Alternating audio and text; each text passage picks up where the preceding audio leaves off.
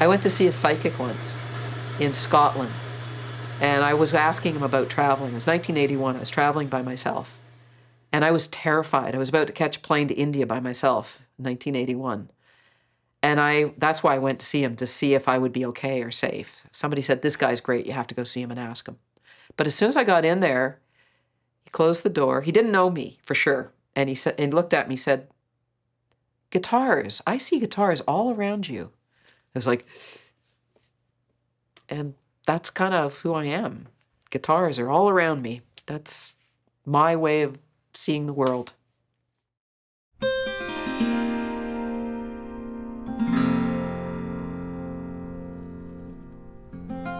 I think of guitar making as uh, combining a bunch of disciplines. It's, obviously, there's the woodworking aspect of it, but because it's a musical instrument, I have to listen to what I'm doing. And so there's a musical aspect to it, but it's also scientific. There's a functional aspect to it because you're putting over 200 pounds of pressure on these skinny little pieces of wood, and if you don't do it right, it'll explode.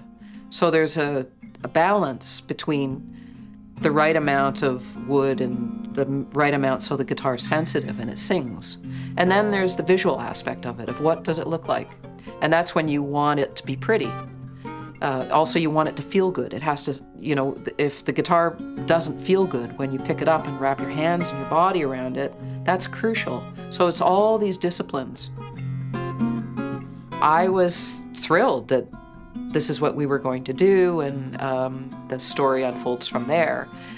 And each one of us either picked an artist or got assigned an artist, or we, it was very organic who decided who got to represent who. I ended up with Lawren Harris, kind of by accident, and I could not be more thrilled. And um, as I've gotten to know more about Lawren Harris, I started researching him, and I kind of have fallen in love with him as an artist, but also as a person. And I regret that it's impossible I could meet him.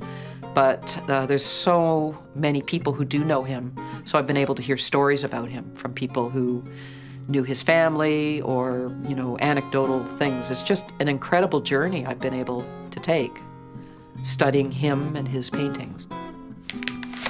Before I start anything on the guitar, I have to have a map planned out completely. So I start drawing.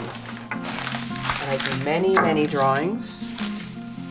This particular guitar, I wanted to have two necks because I wanted to have a harp section. The concept is based on the Mount Lefroy painting by Lawren Harris. So I'm going to have one relatively normal neck, but the whole front of the guitar depicts Mount Lefroy.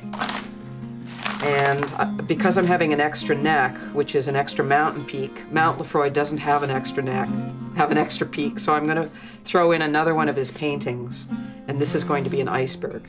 So I'm kind of mashing up two of his paintings, and I hope he doesn't mind.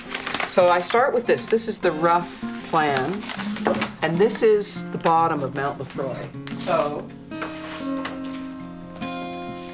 you can see here the bottom matches this area. So now I get into practically, how do I actually do this?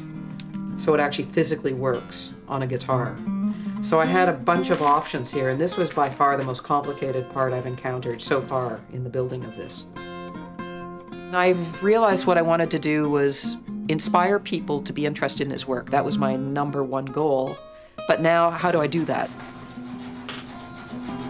So I kind of imagined if Lawren Harris made a guitar, what would he do?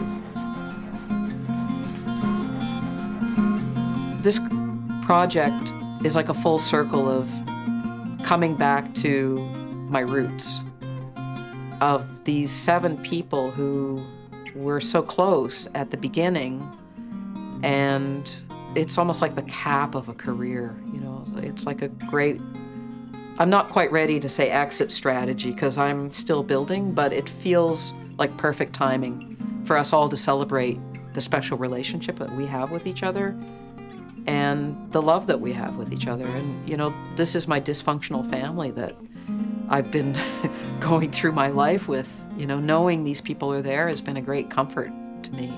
And I'm really, it's uh, you know, just a blast to be able to do this with everybody and to honor these incredible painters.